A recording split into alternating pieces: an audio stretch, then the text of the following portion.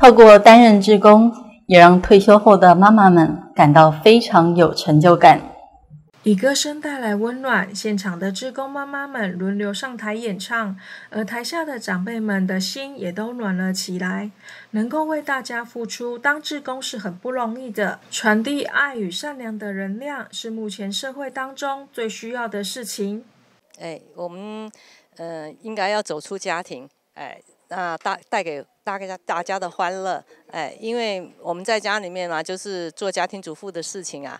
那有这个机会，有这个平台给我们，我们非常开心。然后出来，嗯，把欢乐带给人家，然后自己现在还可以唱嘛，就把这个歌声再带给大家欢乐，这个是很好的事。我本来都在家不出来唱歌，结果我大姐说，嗯，你要出来唱给大家听，你现在还可以唱，就要赶快出来唱，不然以后老了就不能唱了。我说好，那我就出来。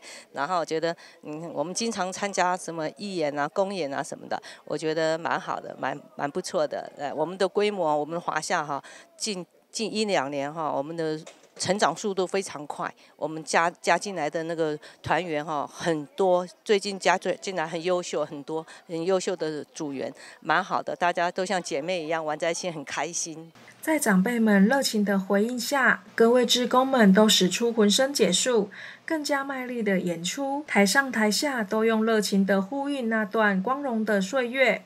除了歌曲演唱之外，华丽的舞裙也带来精彩的表演，给长辈们不一样的视觉感受。时放新闻郭一文、许建义高雄采访报道。